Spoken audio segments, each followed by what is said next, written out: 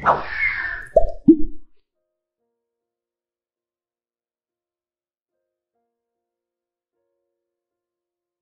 Math problems মধ্যে increase ও math খুবই ইম্পর্টেন্ট এক্ষেত্রে কোনো বস্তুর প্রাইস পরপর দুবার ইনক্রিজ বা ডিক্রিজ হতে পারে, অথবা কোনো চতুর্ভুজের দৈর্ঘ্য ও প্রস্থ ইনক্রিজ বা ডিক্রিজ হতে পারে। এক্ষেত্রে আমরা যদি টোটাল চেঞ্জ ইন প্রাইস অথবা টোটাল চেঞ্জ ইন এরিয়া জানতে চাই, সেক্ষেত্রে আমরা এই সূত্রটি ব্যবহার করব। এখন চেঞ্জ পরপর দুবার চার ভাবে হতে পারে। প্রথমে ইনক্রিজ পরে ডিক্রিজ হতে পারে। প্রথমে ডিক্রিজ পরে ইনক্রিজ হতে পারে। পরপর দুবার ইনক্রিজ হতে পারে অথবা পরপর দুবার ডিক্রিজ হতে পারে। যদি ইনক্রিজ হয়, তাহলে মানটির আগে আমরা প্লাস সাইন বসাবো।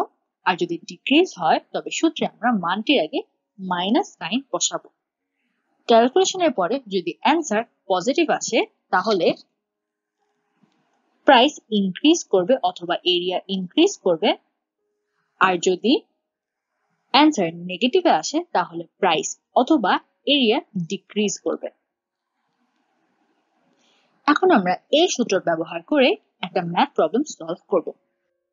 The price of sugar in 1994 increased by 20% from that in 1993. In 1995, the price decreased by 10% from that in 1994. In 1995, what is the increase in price with respect to the price in 1993? এক্ষেত্রে first day price increased by 20%, second day price decrease করে 10%. So এই দুটো মান যদি আমরা সূত্রে বসাই, তাহলে 20 minus 10 plus 20 into minus 10 divided by 100 এটা যদি আমরা ক্যালকুলেট করি, তাহলে আমরা পাবো 8% যেহেতু এটা একটা পজিটিভ মান, তাহলে প্রাইস ইনক্রিজ করবে। তাহলে আমরা বলতে পারি 1995 এ সুগারের প্রাইস টোটাল এইট পার্সেন্ট বৃদ্ধি পাবে। The radius of a circle is increased by 100%.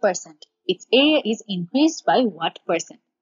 কোন সার্কেলের রেডিয়াস যদি ইনক্রিজ বা ডিক্রিজ করে এবং আমাদেরকে যদি এরিয়া কত পার্সেন্ট ইনক্রিজ বা ডিক্রিজ করে সেটা বের করতে হয়, সেক্ষেত্রে আমরা এই সূত্রটি ব্যবহার করতে পারব এখানে ফার্স্ট ডে বৃদ্ধি পায় হান্ড্রেড সেকেন্ড ডে বৃদ্ধি পায় হান্ড্রেড এই দুটো মান যদি আমরা সূত্রে বসাই hundred plus hundred plus hundred into hundred divided by hundred এটা যদি আমরা ক্যালকুলেট করি আমরা পাবো থ্রি হান্ড্রেড পার্সেন্ট এটা একটা পজিটিভ মান তাই আমরা বলতে পারি সার্কেলটির area three hundred percent increase করবে price of paper has decreased by twenty percent how much paper usage must be enhanced so that expenditure for the paper remains the same. পেপারের price twenty percent decrease করেছে। এখন আমাদেরকে বের করতে হবে পেপারের ব্যবহার কতটুকু বাড়ালে খরচ আগের মতোই থাকে। এভাবে কোনো কিছু প্রাইস যদি ডিক্রিজ করে এবং আমাদেরকে ইউসেজ ইনক্রিজ বের করতে হয়, সেক্ষেত্রে আমরা এই সূত্রটি ব্যবহার করব। এখানে আর হবে টোয়েন্টি এখন আমরা যদি সূত্রে বসাই 20 divided by 100 minus 20 into 100 percent. এটা যদি আমরা ক্যালকুলেট করি, আমরা পাবো 25 পার্সেন্ট তাহলে পেপারের ইউসেজ যদি আমরা 25 পার্সেন্ট বাড়িয়ে দিই, তাহলে পেপারের পিছে খরচ আগের মতোই থাকবে Price of onion has increased by 25 percent. By how much the usage must be reduced so that the expenditure for onion remains the same. অনিয়নের price twenty five percent increase পেয়েছে এখন অনিয়নের ইউসেজ কতটুকু কমালে এক্সপেন্ডিচার একই থাকবে? Usage ডিক্রিজের সকল ম্যাথসের ক্ষেত্রে আমরা এই সূত্রটি ব্যবহার করব।